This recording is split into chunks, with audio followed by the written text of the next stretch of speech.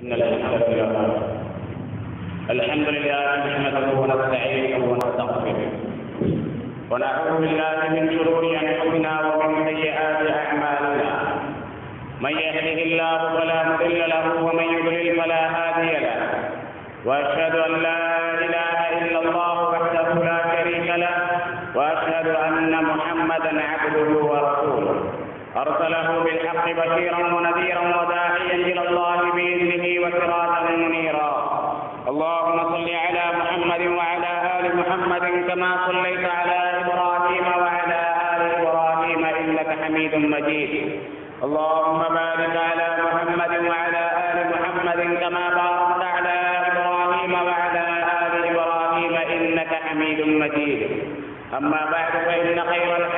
كتاب الله وخير الهدي هدي محمد صلى الله عليه وسلم وشر الأمور محدثاتها وكل محدثة بدعة وكل بدعة ضلالة وكل ضلالة في النار. فأعوذ بالله من الشيطان الرجيم. قل لن يصيبنا إلا ما كتب الله لنا. رب اشرح لي صدري ويسر لي أمري. واحلل عقدة من لساني يفقه قولي. அளவற்ற அருளாளனும் நிகரற்ற அன்புடையவனுமாகிய ஏக இறைவன் அல்லாஹுவின் திருப்பெயரால் ஆரம்பம் செய்கின்றேன். கண்ணியத்திற்குரிய அல்லாஹின் நல்லடியார்களே அன்பிற்கினிய சகோதர சகோதரிகளே அன்பு தாய்மார்களே இன்று உலகம் முழுவதும் ஒரு மிகப்பெரிய அதிர்ச்சியிலே இருக்கின்றது. கோவிட் நைன்டீன் என்று சொல்லப்படக்கூடிய கொரோனா வைரஸ் சைனாவில் ஆரம்பித்து உலகத்தினுடைய பல்வேறு பகுதிகளிலும் பரவி இப்பொழுது அதனுடைய மிகப்பெரிய தாக்கம் ஈரானிலும் இத்தாலியிலும் இருக்கின்றது. அதே போன்று நம்முடைய நாட்டிலும் அதனுடைய தாக்கம் ஏற்பட்டிருக்கின்றது என்பதை நாம் அனைவரும் நன்றாக அறிவோம். அல்லாஹ் இந்த உலகத்திலே நம்மை சோதிப்பதற்காகத்தான் படைத்திருக்கின்றார். இந்த உலகத்தில் அல்லாஹ் மனிதர்களை பல்வேறு விதங்களிலே சோதிப்பான் என்பதை இஸ்லாம் நமக்கு எடுத்துச் சொல்லுகின்றது. அந்த அடிப்படையில் இதுவும் அல்லாஹினுடைய ஒரு சோதனை என்பதை நாம் விளங்கிக் கொள்ள வேண்டும். கொரோனா வைரஸ் என்பது வேகமாக பரவி மனிதர்களுக்கு அதனுடைய தாக்கம் ஏற்பட்டு ஒன்று குணமடைகின்றார்கள் இல்லை என்றால் அதிலேயே மரணித்து விடுகின்றார்கள் என்ற செய்திகளை எல்லாம் நாம் பார்க்கின்றோம்.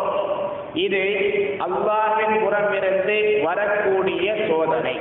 அல்லாஹ் நமக்கு இப்படியும் சோதனைகளை கொடுப்பான். அல்லாஹின் முதல் சொல்லலாக அழகி வசல்லம் அவர்களுடைய காலத்திலும் இது போன்ற சோதனைகள் எல்லாம் வந்திருக்கின்றன.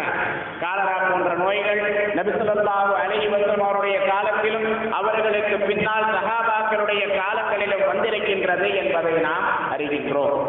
ஆகவே இது போன்ற சோதனைகள் வரும் பொழுது நாம் என்ன செய்ய வேண்டும்? நம்முடைய பொறுப்பு என்ன என்பதை நாம் விளங்கிக் கொள்ள வேண்டும். அல்லாஹ் தூதர் சல்லல்லாஹு அலைஹி வஸல்லம் அவர்கள் கூறுகிறார்கள் எந்த சமுதாயத்தில் மானக்கேடான காரியங்களும் ஆபாசங்களும் அதிகரித்து விடுகின்றதோ அங்கே புதுவிதமான நோய்கள் எல்லாம் வர ஆரம்பிக்கும். எந்த சமுதாயத்தில்? ஆபாசங்களும் அனாச்சாரங்களும் தவறான காரியங்கள் மானக்கேடான காரியங்கள் அதிகமாக பரவு நோய்கள் பெயரே சொல்ல முடியாத அளவிற்கு புதுவிதமான நோய்கள் எல்லாம் வரும் என்று அல்லாஹின் தூதர் சல்லல்லாஹு அழகி வசல்லம் அவர்களுடைய ஹதீசுகள் நமக்கு தெளிவுபடுத்துகின்றன. இது எங்கே ஆரம்பித்ததோ அந்த நாட்டை எடுத்துக்கொண்டால் அங்கே இரண்டு விஷயங்கள். ஒன்று ஆபாசம் மானக்கேடான காரியங்கள் சர்வ சாதாரணமாக அங்கே நடக்கும். இரண்டாவது அல்லாஹ் எதையெல்லாம் உண்ணக்கூடாது என்று தடை செய்திருக்கின்றானோ அப்படிப்பட்டவைகளை எல்லாம் உணவாக உட்கொண்டதன் காரணமாகத்தான் விளைவாகத்தான் இந்த நோய் பரவுகின்றது என்ற செய்திகளையும் நாம் அனைவரும் நன்றாக அறிந்து வைத்திருக்கின்றோம். ஆகவே இது நமக்கு உணர்த்தக்கூடிய முதல் பாடம் என்ன? ஆபாசங்கள் மானக்கேடான காரியங்கள் விபச்சாரம் இது போன்ற தவறான காரியங்களை விட்டும் நாம் விலகி இருக்க வேண்டும். இரண்டாவதாக அல்லாஹ் நமக்கு எதனை ஹலாலாக ஆக்கி இருக்கின்றானோ அந்த உணவை தான் நாம் உண்ண வேண்டும். அல்லாஹ் எதனை நமக்கு ஹராமாக ஆக்கி இருக்கின்றானோ தடை செய்திருக்கின்றானோ அதை விட்டும் நாம் விலகி இருக்க வேண்டும். மூன்றாவதாக நாம் செய்யக்கூடிய மிக முக்கியமான காரியம் இது போன்ற சூழல்கள் ஏற்பட்டு சோதனைகள் வரும் பொழுது இது போன்ற நோய்கள் பரவும் பொழுது நாம் அல்லாஹ் அல்லாஹ்விடத்திலே பாவ மன்னிப்பு கோர வேண்டும் தௌபா செய்ய வேண்டும். இதுதான் மிக மிக முக்கியமானது. இது போன்ற சூழல்கள் வந்துவிட்டால் அல்லாஹின் பக்கம் மீண்டு அல்லாஹ்விடத்திலே நம்முடைய பாவங்களுக்கு தௌபா செய்வதுதான் ஒரு முக்மினுடைய பண்பு என்பதை குரானும் ஹதீஸும் நமக்கு தெள்ள தெளிவாக விளக்குகின்றன. ஆகவே இந்த வைரஸ் பரவிக் கொண்டிருக்கக்கூடிய இந்த நேரத்தில் நாம் அல்லாஹ்விடத்தில் அதிகம் அதிகமாக பாவ மன்னிப்பு தேட வேண்டும். அல்லாஹ்விடத்திலே பாவ மன்னிப்பு தேடும் பொழுது அல்லாஹ் நம்மை கஷ்டத்திலிருந்தும் நீக்குவான் காப்பாற்றுவான். யூனுஸ் அலைஹிஸ்ஸலாத்து இஸ்லாம் அவர்கள் அல்லாஹ் கோபித்துக் கொண்டு கப்பலிலே பயணம் செய்யும் பொழுது அவர்கள் மீனுடைய வயிற்றிலே அவர் கடலிலே தூக்கி எறியப்படுகின்றார்கள். அப்படி கடலிலே தூக்கி எறியப்படும் பொழுது அவர்களை அல்லாஹ் மீனுடைய வயிற்றிலே தங்க வைக்கின்றான் மீன் அவர்களை விழுங்கிக் கொள்கின்றது பனாதா யூனுஸ் பித்துலமா யூனஸ் அலை இஸ்லாம் அவர்கள் இருளிலே அல்லாஹ்விடத்தில் பிரார்த்தனை செய்கின்றார்கள். எப்படி அல்லாவை அழைத்தார்கள்? அல்லா இலாஹ இல்லா அந்த சுபகான யாவா உன்னை தவிர வணக்கத்திற்குரியவன் வேறு யாரும் இல்லை.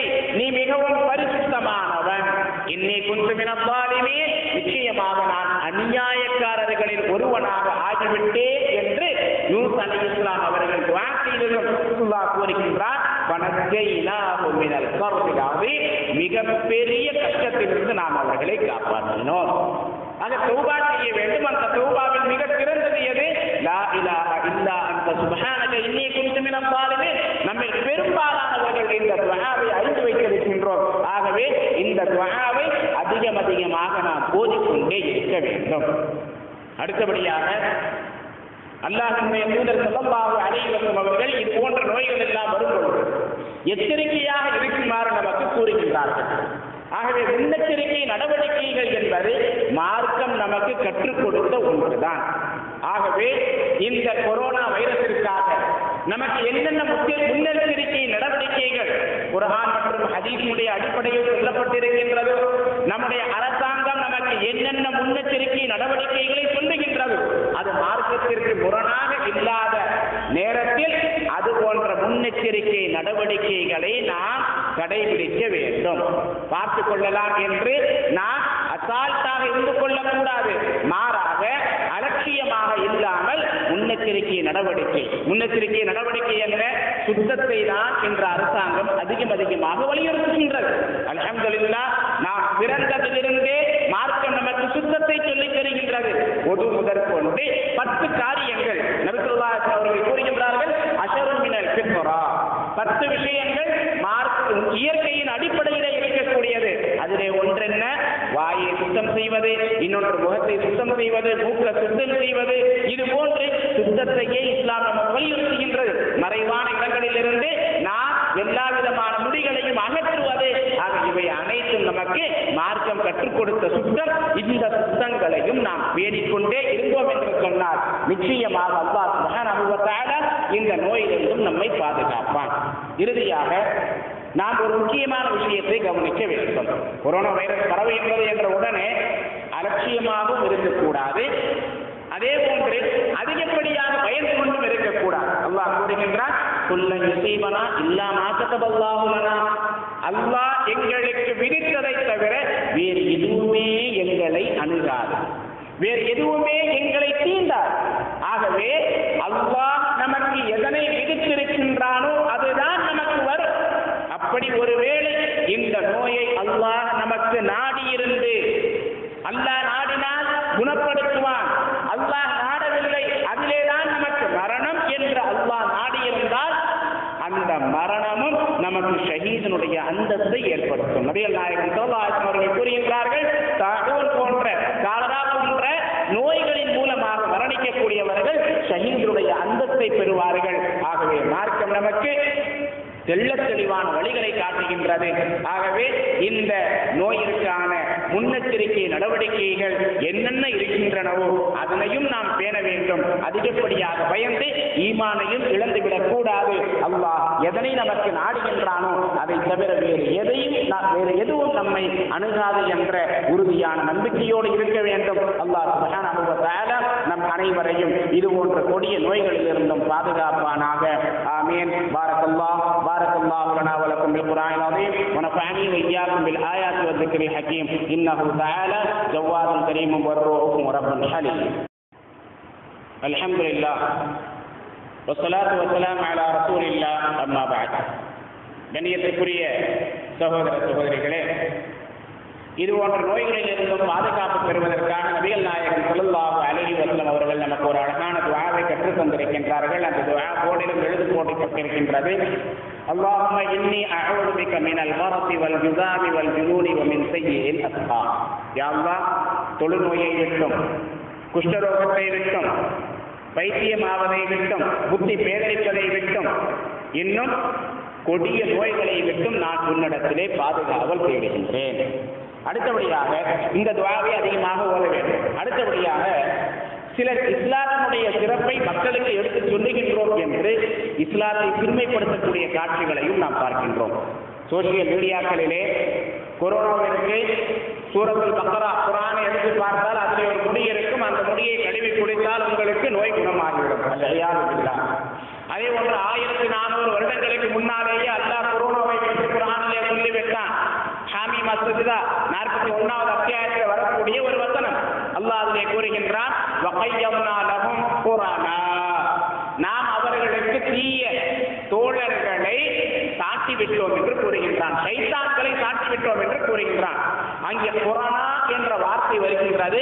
அதனை கொரோனா என்று சொல்லிவிட்டு ஆயிரத்தி நானூறு வருடங்களுக்கு முன்னாலேயே வரும் என்று இஸ்லாம் சொல்லிவிட்டது. பார்த்தீர்களா என்று இஸ்லாத்தை பெருமைப்படுத்துகின்றோம் என்ற பெயரிலே சிறுமைப்படுத்தக்கூடிய காட்சிகளை பார்க்கின்றோம். ஆக இவையெல்லாம் அல்லாஹின் மீதே இட்டுக்கட்டுவதாக ஆகிவிடும். இது போன்ற செய்திகளை பரப்பினால் நாம் இஸ்லாத்தை பெருமைப்படுத்துவதில்லை. மாறாக அல்லாஹின் மீது இல்லாததை கட்டக்கூடியவர்களாக நாம் ஆகிவிடுவோம். மறுமையிலே நம்முடைய இருப்பிடம் நரகமாக ஆகிவிடும் என்பதை நாம் எச்சரிக்கையாக இருக்க வேண்டும்.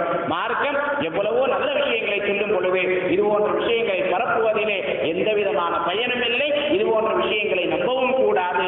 மார்க்கத்தில் ஒவ்வொரு விஷயத்திற்கும் தீர்வு இருக்கின்றது என்று வைக்கக்கூடிய புதிய புதிய பெயர்களுக்கெல்லாம் குரஹானிலே அந்த பெயர்களை இடம்பெற்றிருக்கும் என்று தேடிக்கொண்டு நாம் அதற்கான விடைகளை தேடிக்கொண்டிருந்தோம் என்று சொன்னால் அது நம்முடைய அறிவீனம் என்பதையும் விளங்கிக் கொள்ள வேண்டும். அல்லாஹ் இது போன்ற கொடிய நோய்களை விட்டும் உலக மக்கள் அனைவரையும் பாதுகாப்பானாக நம் அனைவரையும் அல்லாஹ் பாதுகாப்பானாக.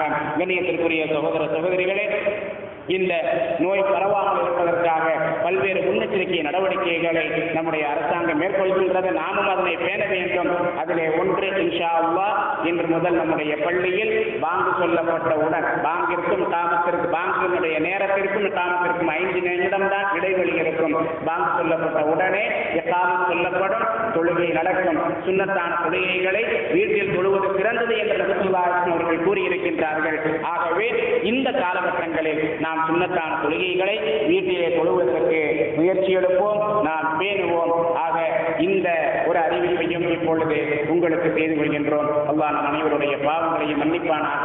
ஒவ்வொரு வாரமும் பல நோயாளிகளுக்கு நாம் துவா செய்து பொருளாதார உதவி செய்து கொண்டிருக்கின்றோம். இந்த வாரமும் ஒரு நாம் துவா செய்து பொருளாதார உதவி செய்யுமாறு கேட்டுக்கொள்கின்றேன் ஆமேன் إن الله يأمر بالعدل والإحسان وإيتاء ذي القربى وينهى عن الفحشاء والمنكر والبغي يعظكم لعلكم تذكرون اذكروا الله يذكركم ودعوه يستجب لكم ولذكر الله تعالى أعز وأجل وأتم وأكبر